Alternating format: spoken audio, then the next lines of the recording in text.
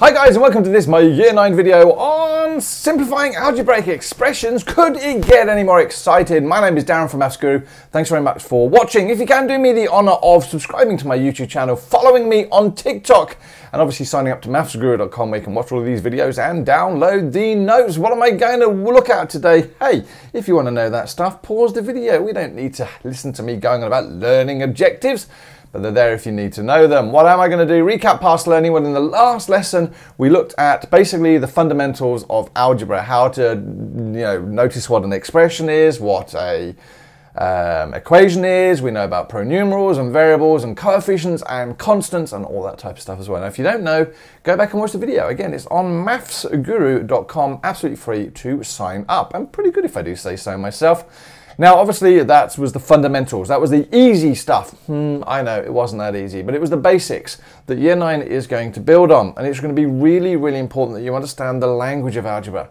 Because there are a lot of tricks, right? And I know Barry, Barry, Barry just is there to trick, trick, trick, trick, trickers. But let's do some more language now, okay? Let's look at something called like terms. Now, like terms are exactly that. They is basically the same letter. They have exactly the same pronumeral or variable. The coefficient can change. It can be positive and negative, whatever. But in this situation, you'll notice I've got 5x and 7x. They are the same. If you think of x as xylophones, I've got five xylophones and seven xylophones. They is the same thing. What about this? 3a squared and minus 5a squared, well, they are the same because of the a squareds. Right? I think of those, believe it or not, as square apples. Yes, I know you can't buy square apples. That would be silly. But I've got three square apples and I'm taking five square apples away. Now again, if I was in Coles, I'd be walking along. If I was teaching you now, I'd be, you know, my Coles analogy. I'm in Coles, I've gone in and I want to buy three square apples and suddenly I'm like, oh, no, I don't need three square apples and I'm going to take five back. And then it all gets very complicated because I don't have five square apples to take back. But anyway, so just be grateful you're not actually being taught by me because I don't make a lot of sense. What about this? Three apple banana squares. Yeah, I know. In my head, it all makes perfect sense and 10 banana squared apples. Are they the same? Apps are positively lootly. Now, because that floaty 2, if you notice, belongs to the B, and the A is on its own. It doesn't matter whether we write A, B squared, or B squared A, they are absolutely the same. And that's how we're going to go and try and trick you. Now, a lot of you out there are going, no, no, no, no, no. And I agree with you. This is more correct. Mm, I don't like that. Right? This is conventionally how we would do it. We normally put letters in alphabetical order. All right, so just be aware that that's really, really important. All right, again, these are the same. They are the same term, but the letters just in a slightly different order to try and trick you. Now we can actually collect these things. And when we say collect, we can actually do mathematics with them. So, as I've said here, we've got five xylophones and seven xylophones, well, obviously I got 12 xylophones. I can add those together. I am there collecting like terms. I is making it simpler as well. This is also simplifying because I'm saying, well, hold on, I can make that look simpler. I can collect those terms. I've got three square apples and I'm taking away five square apples. Well, obviously I've got to have square apples. So in this situation, I've got three minus five, which is minus two. It's got minus two square apples. And the same as I just talked about here, I've got three apple square bananas and I'm adding 10 square banana apples. And if I wanted to, I could write that out properly as apple banana squared or square bananas and 10 apple banana squared. Well, these things here are the same. So I've got to have apple banana squared and then 3 plus 10 gives me that 13. All right, and again, we can throw so many questions at you but they're pretty much the same. Try and collect those like terms. Now, we can obviously look here and go, well, hold on a moment, these is not the same. And no, they're not the same, because you'll notice here I've got a xylophone, but here I have square xylophones. They are not the same, right? So I can't have xylophones and square xylophones, doesn't make any sense. So in that situation, if someone said simplify, they're trying to trick you. You can't. Leave it as it is. In brackets, right, ha ha ha ha, I saw through your trick. What about this one here? Are these like terms? Well, they've got floaty numbers, haven't they? They do, but this is a floaty 2, and that is a floaty 3. So in which case I've got square apples and cubey apples. They're not the same. A square and a cube, not the same thing. And likewise here, if you notice, it looks the same, doesn't it? But it isn't, because here the floaty 2 belongs to the B, and here the floaty 2 belongs to the A. So again, we can't do anything with them. They're not like terms. Now Barry, Barry, Barry, Barry, Barry, ugh, Barry likes to trick us. Maths, I promise you, isn't hard. If you stick with me, you'll smash it by the end of this year. But Barry tries to make things confusing. He, he gives us all sorts of stupid language like multiply and times and product. They all mean the same thing. Why? Why do we do this to you students, all right? Again, it's to try and trick you. I know I hate it. I'm so sorry. I feel bad. But when you see through all the tricks, the maths probably is a lot, lot simpler than you think. So for example, if you go back to my last lesson, right? Between a number and a letter is a kissy kissy. And again, you're to go, what is he going on about with a kissy kissy? All right, quick crash course. When I send my mum a card, I go, dear mum, love you, kiss, kiss, kiss, kiss, kiss, kiss. And it was weird because I was looking at these kisses and I go, hold on a moment, they're multiplication signs. Oh my God, maths is even in greeting cards. It's everywhere. So now I'm like, well, if I was to write 3 kissy kissy x or 3 times x, well, really, that looks like a kissy kissy. So the 3 and the x is kissing, aren't they? All right, don't go any further. Stop, stop, stop. No, stop it. Right, 3 kissy kissy x. So I say between numbers and letters, there are kissy kisses. It just makes me remember and not mess up. You've probably stopped watching now, haven't you? This guy's a nutter. Again, imagine having me as a maths teacher. Now again, whenever we try and trick you, we might write 3 divided by x. How often do we ever write the uh, divide sign? Very rarely. So if there's a divide sign, it's there to trick you. Because really, we want you to write it like that. And if you remember, between the 3, that line and the x, this thing here is a divide sign. Oh, hold on a moment. Have you noticed that fractions even look like divide signs? If you look at the divide sign on your calculator, you've got a dot, a line, and a dot. Well, those dots just stand for numbers. So there's a number and a line and a number. Hmm, it's a fraction, it's a divide, life goes on. Right, common factors that can be cancelled in fractions. Now, things can be cancelled down. Now, what I want to do is a little bit of an experiment with you because I can guarantee if I do this to you as I did to my maths group, you're going to make a mistake. Right, first things first. What is 1 divided by 1? Hold on, why am I asking you to answer? I'm talking to myself. 1 divided by 1 is? It's 1. Okay. What's 2 divided by 2? Yeah, you said 2, didn't you? Nah, it's 1. What's 10 divided by 10? You got it, 1. Why? Because any number divided by itself is actually 1. We told you that. We've told you that years and years and years. But did you notice what I said? Any number divided by itself is 1. This is where I now go, what is A divided by A? And a lot of people go, anything divided by itself is 1. So in fact, A divided by A is 1. What is B divided by B? 1. What is x divided by x? It is 1. So any letter that has the same letter on the bottom, or any letter divided by itself, is always going to be 1. Hmm, how is this going to help us? Right, well, I'm going to look at 6ab divided by 8b. Now, first things first, let's imagine we can split this up and do our numbers first. Because if I wrote down the fraction a half and asked you to simplify it, would you? You'd be like, no, that can't be simplified. That's in its lowest common form or whatever we say. But if I said to you 2 on 4, you'd be like, no, no, no, no, no, no, that can be, oh, look, half my hand missing. uh, all right, you'd be like, no, no, no, no, that can cancel down. I'm like, of course it can cancel down because we look for the highest common factor, top and bottom. I don't, I always half things. 2 divided by 2 is 1. Two, uh, 4 divided by 2 is 2, and I get a half. Stupid, yeah? Easy. But when we have fractions, if all of the numbers are timesed on the top and all of the numbers are stuck together on the bottom, and I literally mean that, they're all stuck together with timeses, then what I can do is I can say, well, now let's look at 6 divided by 8. Let's just cancel that bit down first. Right, so I'm going to put my pen to red. I know that 6 can halve to give me 3. 8, half of that is 4. Now when I say half, I always divide by 2, divide by 2, divide by 2 until I can go any I can halve in my head. I don't care what the highest common factor is. Can I do Any number, 3 into 4. Can I cancel that down again? Is there any number that goes into 3 and 4 that isn't 1? Nah. So there we go. I've done that. Now, again, sort of taking this, and I'm doing this really slowly so you can sort of see why this works.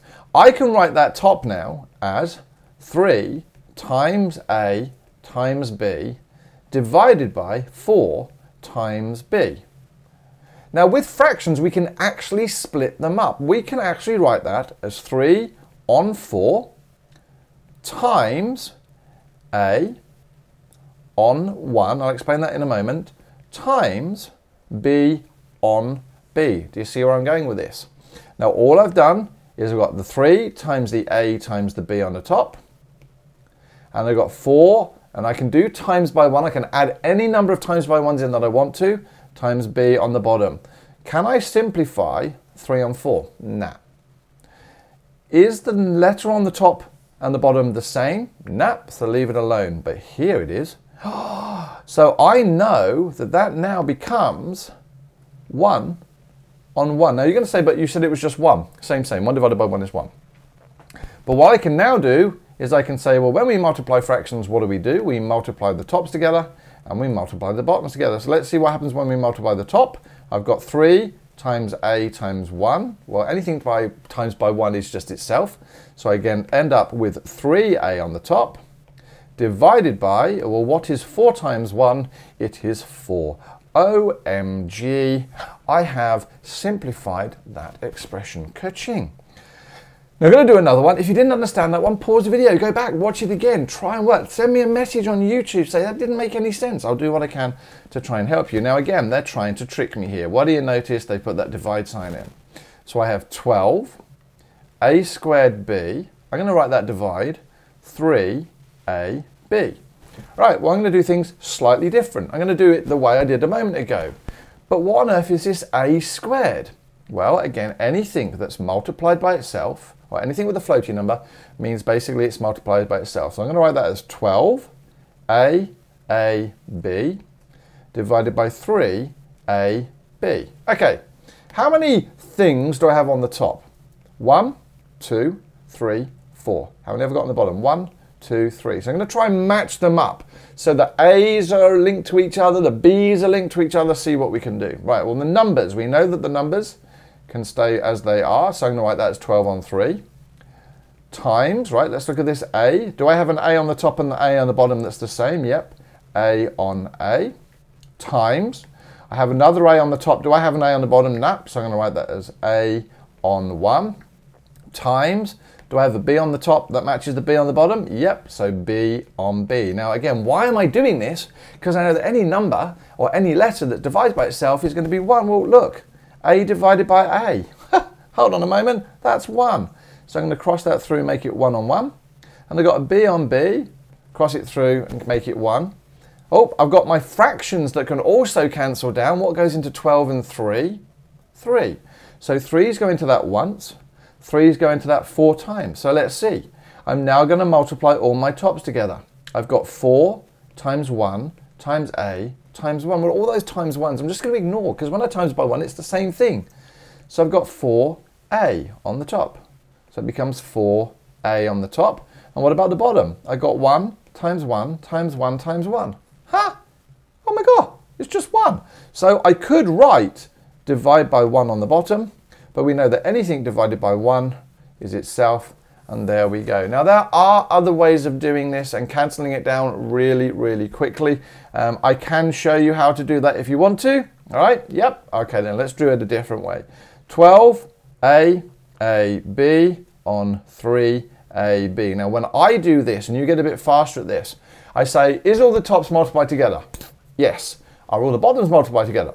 Yes. So any letter on the top that matches the letter on the bottom, I can change into ones. So that A on the top becomes a 1, that A on the bottom becomes a 1 because they match. The B on the top becomes a 1, the B on the bottom becomes a 1. I can put 3's into there goes once, 3's into there go 4 times, and once again I've got 4 times 1 times a times 1, which is my 4a, and I've got 1 times 1 times 1, which stays as 1. So it's slightly quicker to do it that way. I think of it as a shortcut, but I wanted to show you why it worked here. Simplify the following. When you multiply algebraic terms, it is awesome because what we do is there's kissy kisses between all of those. So that's the same as 3 times 2 times b. Now, this is a really simple example, but when everything is times, we can actually move things around. So I always say, well, what's 1 times 2 times 3? 6. What's 2 times 3 times 1? 6. What's 3 times 2 times 1? 6. Same thing, I've just moved the letters around, uh, sorry, moved the numbers around. All times together, but I've just moved all the numbers around. So, in this situation, normally we do this so that we can get our numbers together, because we know what 3 times 2 is. It's 6 times b. I can't do anything with the b, I can't collect it, there's no other b's in there, it's fine. Well, is that the simplest way to write it? Uh, not really, because I can join them back together. So I'm going to put my equals in there, and that becomes 6b. Moving on, let's look at the next one. I've got minus 2 times a, I'm putting that times in, times 3 times a times b. Well, now I want to reorder things because I've got my numbers, they're not stuck to each other. I can't they need to be stuck together. And I know it's got an a and an a. So what I'm now going to do is put my numbers together. So equals minus 2 times 3 times a, putting my letters together, putting those like terms together, the a and the a together, all I've done is swap the order. I've got exactly the same thing. There's my minus 2. I've got an a, I've got a 3, I've got an a, and I've got a b. So all I've done is change the order around. But why? Well, because I can now do minus 2 times 3, which is minus 6. I can do a times a, which is a with a floaty 2. And what do I do with that poor lonely b on the end? Well, don't forget him because he becomes b. So 3 times, uh, or minus 2a times plus 3b gives me minus 6a squared b. And again, you can shortcut this. As you do this, you get faster and faster and faster. What do we got here? Simplify uh, by collecting like terms. Remember, if you don't know what a like term is, we're going back to what we did previous lessons. So the first thing I'm going to do here is I've got three x's. Is there anything else with just an x in it? It can have a number in front of it, but just an x. And obviously, yes, in this situation, I've got plus, no, sorry, minus 2x. But what about this plus 4? Does that have a letter? No, it's a constant. So in a way, that's its own term. Numbers that don't have letters are just its own term. There's nothing I can uh, simplify that with. So what I'm going to do is I'm going to do 3x's minus 2x's is going to give me 1x. And the plus 4, there's nothing to do with it. Now, a lot of people get really upset here because it's like, well, do I need to write the 1? No. When I've got 1x, I can just write that as x plus 4. What about the next one? Uh, well, I'm going to highlight my like terms. Let's see, I've got 3x there, and I've got a 4x there. I got a plus 2y there and a plus 7y there. Kaching. Highlighting them, and my brain is drawn to them to know which ones I'm adding up. Use colour in maths. I know it's not art, but it's fine. So 3x's plus 4x's is 7x's. Plus 2y's plus 7y's is plus 9y. Can I make this any simpler? No, because I can't add xylophones and yaks. They don't go together leave it alone. What about the next one? See what I'm doing? Highlighting again. Right, what I got? I've got an AB squared. I've got any more AB squared to do. I have a minus AB squared. What's that minus? Oh, minus 1. Yeah, yeah. What about the next one? I got minus 9AB plus 3BA. Oh, that can't be... Uh, trying to trick me. All right, it's 3AB. I can do that. That's the same. And again, simply just by swapping those two letters, we can make it look like a different term, but it isn't. All right, so 8ab squared minus 1ab squared gives me 7ab squared. Minus 9ab's plus 3ab's gives me minus 6ab's, and I'm pretty sure that is the end of this particular lesson. Now again, I could do thousands of examples. It's not going to help you. This video is coming up to 20 minutes. That's long enough to be able to do it, but it's really, really important. If you can do me the honor, please, of subscribing to my YouTube channel, following me on TikTok, and watching the rest of the videos would be awesome. Spreading the words with your mates, and maybe going over to maffsguru.com and signing up because it is free and you can download these notes. Ka-ching, put them in your maths book. Life is good. If I don't see you again, please take care and stay safe. All right, bye-bye.